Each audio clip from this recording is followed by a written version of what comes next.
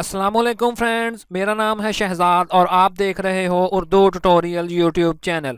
Friends, آج ایک اور نئی ویڈیو کے ساتھ آپ کی خدمت میں حاضر ہوں اور آج کی اس انٹرسٹنگ ویڈیو میں میں آپ دوستوں کو ایک ایسی ایپ کے بارے میں بتانے والا ہوں جو کبھی آپ نے پہلے نہ ہی ڈاؤن لوڈ کی ہوگی اور نہ ہی استعمال کی ہوگی۔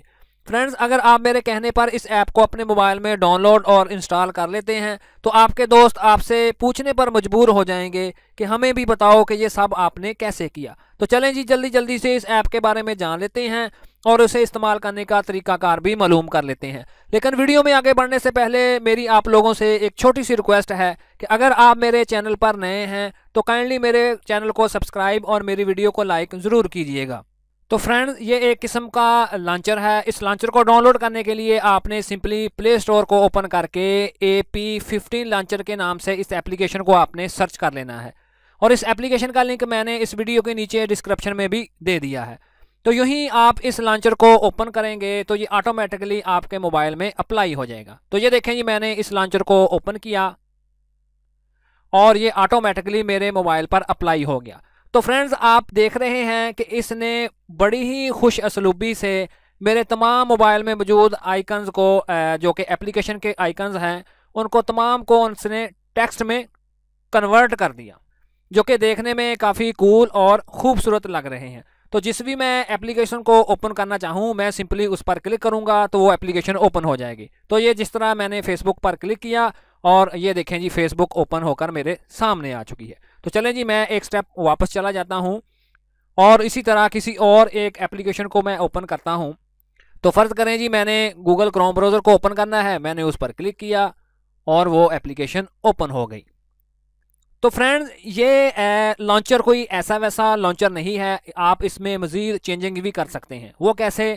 تو چینجنگ کرنے کے لیے اور اس کو کسٹومائز کرنے کے لیے سمپلی آپ نے اپنی انگلی کی مدد سے اسکرین کے کسی بھی حصے پر اس کو دبائے رکھنا ہے۔ تو یہ دیکھیں جی میں نے دبائے رکھا اور ایک پاپ اپ میرے سامنے آ چکی ہیں جس میں مزید آپشنز مجھے نظر آ رہی ہیں۔ تو فرض کریں جی پہلی آپشن ہے جی پریفرنسز میں اس پر کلک کروں گا تو مزید آپشنز میرے سامنے آ جائیں گی۔ تو یہ دیکھیں جی بہت ساری آپشنز میرے سامنے آ چکی ہیں جس میں سب سے پہلے کلر کی ہے، دوسری سائز فاؤنٹ اور اسی طرح کر کے مزید نیچے آپشنز نظر آ رہی ہیں۔ تو چلیں جی سب سے پہلی آپشن جو کہ کلر کی ہے، میں اس پر کلک کر کے اس کو کھول لیتا ہوں۔ تو یہ دیکھیں جی کلر میں کریکشن کے لیے میرے سامنے آپشنز آ چکی ہیں۔ میں اس سلائیڈر کو نیچے کی طرف کر کے یا پھر اوپر کی طرف کر کے اس کلر میں چینجنگ کر سکتا ہوں۔ تو جس طرح سے کہ آپ دیکھ رہے ہیں کہ میں یوں ہی اس سلائیڈر کو نیچے کی طرف کرتا ہوں، تو کلر میں تبدیلی آ رہی ہے، جو کہ ساتھ ساتھ مجھے دکھائی دے رہی ہے۔ تو اسی طرح نیچے اگر آپ غور غور کریں تو ورٹیکلی ہم کلر میں بھی چینجنگ کر سکتے ہیں۔ وہ کیسے؟ یہ دیکھیں جی۔ اس سلائڈر کو میں رائٹ سائڈ میں کروں گا تو آپ دیکھیں گے کہ کلر میں تبدیلی آ رہی ہے۔ تو اس طرح آپ اپنی مرضی کے مطابق کوئی بھی کلر سیٹ کر سکتے ہیں۔ تو چلیں جی میں دوبارہ واپس آ جاتا ہوں اور اس کے بعد میں دوبارہ اسکرین کے کسی بھی حصے پر اپنے ماؤس کو کلک کر کے رکھوں گا۔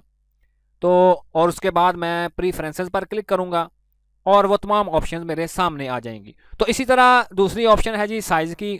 میں اس پر کلک کر کے اس کو بھی اوپن کر لیتا ہوں۔ تو یہ دیکھیں جی سب سے پہلی آپشن ہے جی میکس ٹیکسٹ سائز تو میں پلس والے بٹن پر کلک کروں گا تو آپ پیچھے غور کریں کہ میرے ٹیکسٹ کا سائز جو ہے وہ بڑھ رہا ہے. تو اسی طرح اگر میں مائنس پر کلک کروں گا تو میرے ٹیکسٹ کا سائز کم ہوتا جائے گا. تو اسی طرح آپ اپنی مرضی کے مطابق ان تمام آپشنز پر کلک کر کے اپنے ٹیکسٹ کے سائز کو منتخب کر سکتے ہیں. تو اسی طرح مزید آپشنز ہیں. تو چلیں جی اب میں اہم اہم آپشنز پر کلک کر کے چیک کر لیتا ہوں۔ اور اس کے بعد جو بیک گراؤنڈ کلر والی آپشن ہے، میں اس پر کلک کر کے اس کو اوپن کر لیتا ہوں۔ تو یہ دیکھیں جی وہی آپشنز میرے سامنے آ چکی ہیں۔ میں اس سلائڈر کو پکڑ کے نیچے کی طرف کروں گا۔ تو آپ دیکھیں گے کہ میرا بیک گراؤنڈ چینج ہو رہا ہے۔ تو یہ دیکھیں جی۔ اور اسی طرح میں ورٹیکلی اس سلائڈر کو رائٹ سائڈ میں کروں گا۔ تو آپ دیکھیں گے کہ میرے بیک گراؤنڈ میں تبدیلی آ رہی ہے۔ تو چلیں جی میں دوبارہ واپس آ جاتا ہوں۔ اور اس کی سب سے اچھی جو آپشن ہے، اس کو دیکھ لیتے ہیں۔ تو چلیں جی میں دوبارہ پریفرنسز پر کلک کر کے اس کو اوپن کر لیتا ہوں۔ اور یہ دیکھیں جی بیک گراؤنڈ امیج یعنی کہ اس آپشن کی مدد سے آپ اس کے بیک گراؤنڈ میں اپنی خود کی فوٹو بھی لگا سکتے ہیں۔ تو چلیں جی یہ میں نے یوں ہی اس پر کلک کیا تو میرے موبائل کی گیلی میرے سامنے آ گئی۔ میں نے اس پر کلک کر کے اس کو اوپن کیا اور اب میں اپنے موبائل کی گیلی میں سے کسی ایک فوٹو کو سلیکٹ کر لیتا ہوں۔ تو فرض کریں جی میں نے اس کو سلیکٹ کر لیا اور اس کے بعد میں اوپر سیٹ وال پیپر پر کلک کر دوں گا۔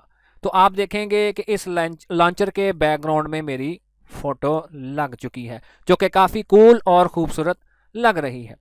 تو فرینڈز اگر آپ ان چینجز کو eh, ڈیفالٹ چینجز میں کنورٹ کرنا چاہتے ہیں، تو اس کے لیے آپ اس کی سکرین پر کہیں بھی کلک کر کے رکھیں اور اس کے بعد پریفرنسز پر کلک کریں۔ اور اس کے بعد یہ دیکھیں جی ریسٹور ڈیفالٹس اس پر کلک کر دیں تو اور اس کے بعد اس کو یس کر دیں۔ تو جو بھی آپ نے چینجنگ کی ہوں گی، وہ ڈیفالٹ چینجنگ میں کنورٹ ہو جائیں گی۔ تو اسی طرح آپ، یہ جو آپ کو تمام اپلیکیشنز نظر آ رہی ہیں، جو کہ میرے موبائل میں موجود ہیں، اگر آپ ان کو ہائیڈ کرنا چاہیں، تو بھی وہ آپ اس کو بڑی ہی آسانی کے ساتھ ہائیڈ کر سکتے ہیں۔ تو فرض کریں جی میں اس واٹس ایپ والی اپلیکیشن کو ہائیڈ کرنا چاہتا ہوں، تو اس کے لیے میں اسکرین کے کسی بھی حصے پر اپنی ماؤس سے کلک کر کے رکھوں گا اور یہ پاپ اپ میرے سامنے آ جائے گا۔ تو اس میں اگر آپ دوسری آپشن دیکھیں جو کہ ہائیڈ ایپس کی ہے، سمپلی اس پر کلک کر دیں اور اب میں ادھر سے اپنے واٹس ایپ کو فائنڈ کر لیتا ہوں۔ تو یہ دیکھیں جی واٹس ایپ آ گیا، اب میں اس دائرے کے اندر ٹک لگا دوں گا اور سمپلی اس کے بعد میں ادھر سے اس کو اوکے کر دوں گا۔ تو آپ دیکھیں گے کہ ادھر سے میرا واٹس ایپ غیب ہو چکا ہے۔ تو اسی طرح فرینڈز، آپ بڑی ہی آسانی کے ساتھ کسی بھی اپلیکیشن کو ادھر سے آپ ہائیڈ کر سکتے ہیں۔ تو فرینڈز، مجھے پوری امید ہے کہ آج کی یہ ویڈیو آپ کے لیے کافی انٹرسٹنگ اور معلوماتی رہی ہوگی۔ Thanks for watching.